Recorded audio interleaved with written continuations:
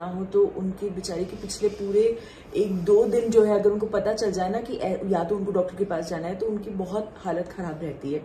जब हम उनको अभी जब हम उनको चेकअप के लिए भी लेके गए थे जब उनकी सोनोग्राफी वगैरह हुई तो वो बहुत ज़्यादा घबराई हुई थी, बहुत ज़्यादा।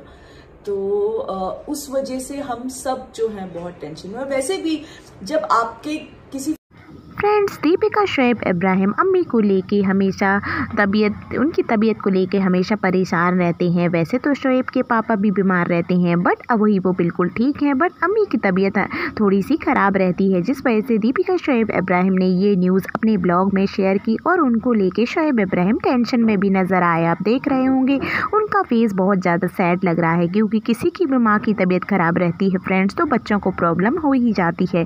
कुछ ऐसा ही इब्राहिम फैमिली में चल रहा रहा है। उन्होंने अपने फ़ैन से गुजारिश की है कि हमारी फैमिली के लिए दुआ कीजिए ताकि अम्मी जल्दी से ठीक हो जाएँ और फिर से हंसती हुआ उनका सलाम सबको मिल सके। आपको वीडियो पसंद आया तो वीडियो को लाइक से सब्सक्राइब कर दीजिए।